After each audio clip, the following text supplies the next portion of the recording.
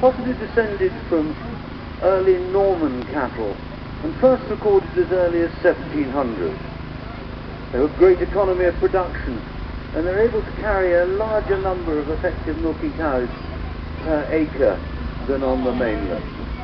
The breed is popular for their heavy buttermilk fat content in its milk, its ease of management and its food of efficiency. These cows are calm and docile animals.